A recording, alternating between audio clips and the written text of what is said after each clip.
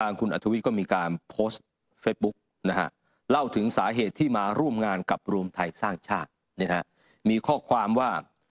รวมใจกันรวมใจกันพลังมากกว่า ปีนี้ผมตั้งใจทำงานภาคประชาชน ในปัญหาหนี้ภาคครัวเรือน เลยไปริเริ่มร่างกฎหมายปฏิรูปเครดิตบูโร ร่วมกับสภาองค์กรของผู้บริโภค ตอนนี้มีคนเข้าชื่อเสนอกฎหมายเกือบ 6,000 คน ต้องใช้ 10,000 รายชื่อ อีกเรื่องก็คือเรื่องผังเมืองกรุงเทพ ไปคัดค้านการสร้างคอนโดสูงในซอยแคบ เสนอสร้างทางลัดให้ประชาชน ทวงถามโครงการบึงรับน้ำที่หายไปจากผังเมือง กลายเป็นโครงการบ้านจัดสรร เป็นช่วงปีของผมที่อยู่ฝ่ายภาคประชาชนที่เรียกร้องให้รัฐเห็นรัฐฟัง ต่อมาพี่ตุ๋ยก็คือคุณพีรพันธ์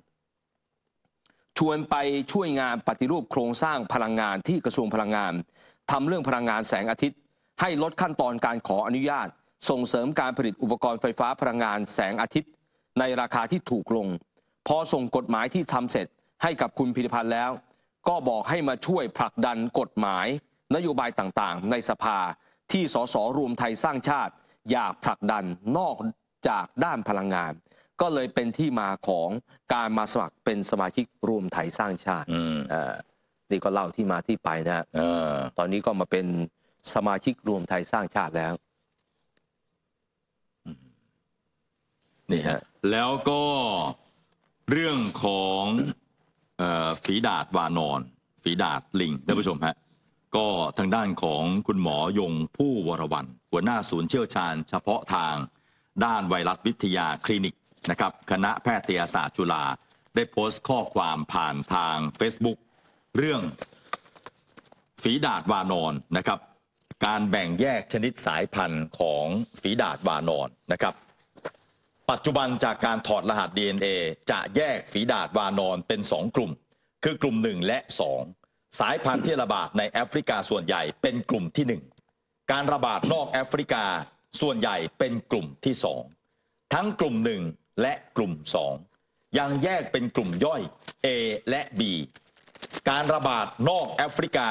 จะเป็นกลุ่ม 2B นึกออกไหมฮะท่านผู้ชมฮะนี่แยกกันให้เห็นง่าย ๆเลยนะฮะกลุ่มหนึ่งอยู่ในแอฟริกากลุ่มสองนะฮะอยู่นอกแอฟริกานะครับ แล้วก็ในแต่ละกลุ่มยังเป็นกลุ่มย่อย A และ B อีกนะครับอืมนอกแอฟริกาจะเป็นกลุ่ม 2B เมื่อเร็วๆนี้มีการระบาดในผู้ป่วยจำนวนมาก ในคองโก มีผู้ป่วยที่ต้องสงสัย และยืนยันถึงปัจจุบัน 20,000 ราย และมีผู้เสียชีวิตอยู่ในอัตราถึงร้อยละ3ถึง4นะฮะสายพันธุ์ที่พบเป็นสายพันธุ์กลุ่ม 1B แสดงให้เห็นว่าสายพันธุ์นี้สามารถติดต่อกันได้ง่าย และมีความรุนแรงสูงนะพบกว่าครึ่งหนึ่งเป็นเด็ก และผู้ที่เสียชีวิตส่วนใหญ่ก็เป็นเด็กที่มีร่างกายอ่อนแอ จึงทำให้ต้องเฝ้าระวังและมีความกังวลนะครับ องค์การอนามัยโลกจึงประกาศเป็นภาวะฉุกเฉินโรคระหว่างประเทศนี่ฮะ 1B นะฮะระบาดในแอฟริกาสร้างความกังวลและต้องเฝ้าระวัง หลังจากระบาดในเอ่อคองโกโรคนี้แพร่กระจายในแอฟริกา 10 ประเทศเลยฮะ การติดต่อของโรคจะแตกต่างกับสายพันธุ์ 2B ที่ระบาดนอกแอฟริกา สายพันธุ์ 1B แพร่กระจายและติดต่อได้ง่าย จึงพบได้ในเด็กและเพศหญิง ไม่เหมือนกับสายพันธุ์ 2B ที่ติดต่อได้ยากกว่า ส่วนใหญ่จะเจอในเพศชายนะครับ ซึ่งที่เป็นข่าวในบ้านเราอะผู้ชายชาวยุโรปครับนะครับที่เมื่อวานนี้ทางเอ่ออธิบดีกรมควบคุมโรค ได้แถลงท่านผู้ชมฮะอืมอืมก็วันศุกร์นี้จะรู้เรื่องนะครับ ซึ่งชายชาวยุโรปอายุ 66 มาจากแอฟริกาท่านผู้ชมฮะมาจากแอฟริกาใช่ครับ แล้วก็สงสัยว่าจะเป็น 1B อืมถ้าเป็น 1B เนี่ย อันนี้คือตัวร้าย ใช่ อันนี้คือตัวร้ายที่อารวาสในคองโก้แล้วก็เอ่อคนตายเนี่ยนะสามในสี่อืมอืมสามในสี่อะใช่ นี่ที่เขาคาดว่าจะเป็นหนึ่งบีเนี่ยเพราะว่าเขาเดินทางมาจากแอฟริกา ใช่ ซึ่งแอฟริกาเนี่ยเอ่อหนึ่งบีเนี่ยมันระบาดอยู่ แต่ยังไงก็ตามแต่เนี่ยต้องรอผลวันศุกร์อืม นะต้องรอผลวันศุกร์แล้วตอนนี้เขากำลังตรวจหานะฮะคนที่นั่งข้างหน้านั่งข้างหลังนั่งข้างๆซ้ายขวาอะไรเนี่ย อืม รวมแล้วมีทั้งหมด 43 คน อืม ก็ต้องเรียกมานะมาเฝ้าระวังระยะเวลา 21 วัน ใช่ครับ ในขณะที่ผอสำนักอนามัยกทมนะครับคุณสุนทรสุนทรชาติ ได้พูดถึงการเตรียมความพร้อมสถานพยาบาลสังกัดกทม เพื่อรองรับสถานการณ์ การแพร่ระบาด โรคฝีดาดลิงนะฮะทั่วกรุงเทพบอกว่าตอนนี้ประสานความร่วมมือกับสาธารณสุข ติดตามสถานการณ์ และเฝ้าระวังการแพร่ระบาดของฝีดาดลิง หลังจากองค์การอนามัยโลกประกาศเป็นภาวะฉุกเฉินทางสาธารณสุขระหว่างประเทศ ที่น่ากังวลขณะเดียวกัน ก็เตรียมความพร้อม สถานพยาบาลสังกัดกทม เพื่อรองรับสถานการณ์หากเกิดการแพร่ระบาดในพื้นที่กรุงเทพ เน้นย้ำมาตรการเฝ้าระวังป้องกันการแพร่ระบาดนะครับ ก็ส่งเสริมให้ความรู้ความเข้าใจที่ถูกต้อง ให้แก่ประชาชนเกี่ยวกับลักษณะอาการการแพร่เชื้อ รวมถึงให้คำแนะนำวิธีป้องกันตัวเอง ให้ปลอดภัยจากโรคฝีดาดลิง โดยเฉพาะพื้นที่ท่องเที่ยว หรือย่านพักอาศัยของนักท่องเที่ยวต่างชาติ จากกลุ่มประเทศแอฟริกานะครับ ระยะฟักตัว 7-21 วัน ผู้ป่วยมักเริ่มด้วยอาการไข้เป็นผื่น จะเริ่มจากตุ่มแดงประมาณ 5-7 วัน หลังรับเชื้อนะครับ และตุ่มจะเปลี่ยนเป็นตุ่มน้ำตุ่มหนอง และแห้งเป็นสะเก็ดตุ่มจะมีจำนวนมากน้อยตามความรุนแรงของโรค และการตอบสนองของผู้ป่วย รวมระยะเวลาประมาณ 2-4 สัปดาห์ ย้ำนะครับ อาการของโรคก็คือ มีไข้เป็นผื่น เริ่มจากตุ่มแดงนะฮะนี่นะฮะแล้วก็ 6 ประเทศในทวีปแอฟริกาที่มีการระบาดอยู่ในช่วงนี้นะครับ ก็คือสาธารณรัฐประชาธิปไตยคองโก สาธารณรัฐยูกันดา สาธารณรัฐรวันดานะฮะสาธารณรัฐบูรุนดี สาธารณรัฐเคนยาอืมแล้วก็สาธารณรัฐโกดิวัว นะฮะทั้ง 6 ประเทศนี้อยู่ในทวีปแอฟริกา อยู่ในพื้นที่เขตติดต่อ โรคไข้เหลืองนะฮะฉะนั้นทางด่านควบคุมโรคติดต่อระหว่างประเทศ แล้วก็กักกันโรค ก็ได้กำหนดให้ 6 ประเทศนี้ต้องลงทะเบียนผ่านระบบไทยเฮล t ์พาสนะฮะแล้วก็ต้องผ่านกระบวนการคัดกรองจากเจ้าหน้าที่ด่านควบคุมโรคติดต่อระหว่างประเทศ ผู้โดยสารที่เดินทางมาจาก 6 ประเทศนี้จะต้องได้รับการตรวจอุณหภูมิของร่างกาย สอบถามอาการ แล้วก็สังเกตผื่นตามร่างกายนะครับนี่นะถ้าหาก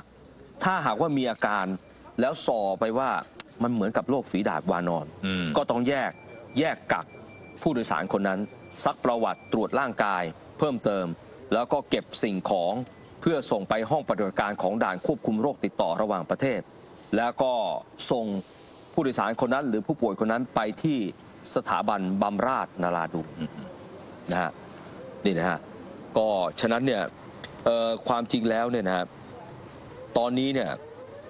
ทางที่ดีกรมควบคุมโรคบอกว่าได้ประสานด่านควบคุมโรคสนามบินนานาชาติ เพิ่มความเข้มงวดในการตรวจคัดกรองผู้ที่เดินทางมาจาก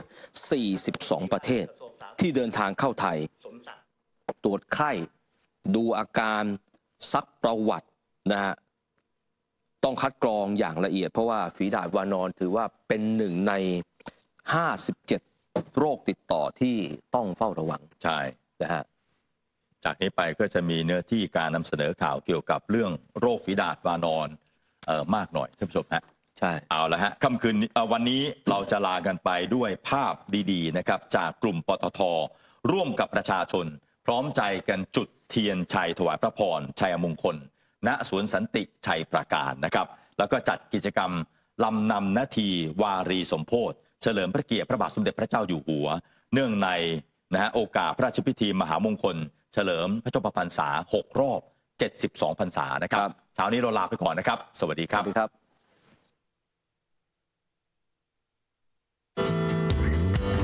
นายชัดชัยพรมเลิศประธานกรรมการ บริษัทปตทจำกัดมหาชน และดรคงกระพันธ์อินทระแจ้ง ประธานเจ้าหน้าที่บริหาร และกรรมการผู้จัดการใหญ่ปตท พร้อมด้วยผู้บริหาร และพนักงานกลุ่มปตท และประชาชนทุกหมู่เหล่าที่เข้าร่วมกิจกรรมลำนำนาที วารีสมโพธจุดเทียนชัยถวายพระพรชัยมงคล เฉลิมพระเกียรติพระบาทสมเด็จพระเจ้าอยู่หัว เนื่องในโอกาสพระราชพิธีมหามงคล เฉลิมพระชนมพรรษา 6 รอบ 28 กรกฎาคม 2 5 2567 เพื่อแสดงถึงความจงรักภักดี และน้อมสำนึกในพระมหากรุณาธิคุณ โดยพร้อมเพียงกัน ณ สวนสันติชัยประการ ถนนพระอาทิตย์ กรุงเทพ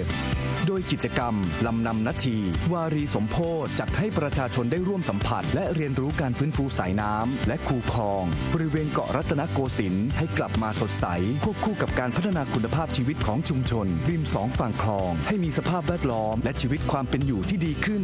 ซึ่งภายในงานมีกิจกรรมการที่น่าสนใจมากมาย อาทิการล่องเรือเส้นทางพิเศษ คลองบางลำพู การจัดฉายหนังสั้น เฉลิมพระเกียรติที่ปตทตั้งใจจัดทำขึ้น เพื่อถวายพระเกียรติแด่ในหลวงรัชกาลที่ 10จำนวน 2 เรื่อง ได้แก่ เรื่องคาเฟ่และรูปวาดจากอนาคต การแสดงสุดพิเศษ แสงสีเสียง เรื่องพรจากสายน้ำด้วยเทคนิค Immersive 3D Mapping ที่บริเวณ ป้อมพระสุเมน ร่วมสัมผัสวิถีชีวิตคนไทยที่ผูกพันกับสายน้ำมาทุกๆ สมัย เมื่อมืองขยายตัว ประชากรเพิ่มมากขึ้น สภาพแวดล้อมเปลี่ยนแปลงไปตามกาลเวลา แหล่งน้ำและคูคลองอาจจะถูกละเลย จนกระทั่งในหลวงรัชกาลที่ 9 และรัชกาลที่ 10 ทรงมีพระบรมราโชบาย และสืบสารการพัฒนาสายน้ำจึงได้เห็นภาพความสุขของประชาชนกลับมาอีกครั้ง การจัดนิทรรศการเฉลิมพระเกียรติ ให้ประชาชนได้น้อมสำนึกในพระมหากรุณาธิคุณ เกี่ยวกับสายน้ำนำเสนอโครงการ ตามพระบรมราโชบาย เกี่ยวกับสายน้ำที่สำคัญ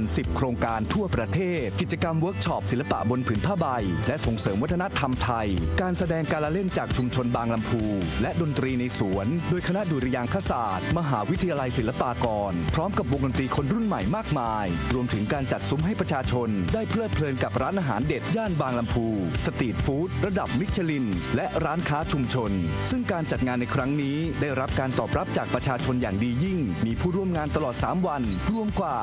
7,500 คน นอกจากจากนี้ทางกลุ่มปตท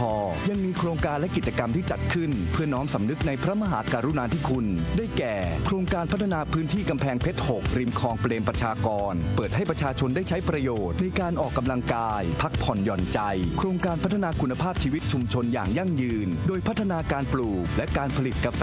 ระบบอนุรักษ์ทรัพยากรธรรมชาติ โครงการหลวงเลอตออำเภอแม่ระมาดจังหวัดตากกิจกรรมปลูกป่า 72,000 ไร่ เฉลิมพระเกียรติพระบาทสมเด็จพระเจ้าอยู่หัว และการผลิตหนังสั้นเฉลิมพระเกียรติเนื่องในโอกาสพระราชพิธีมหามงคล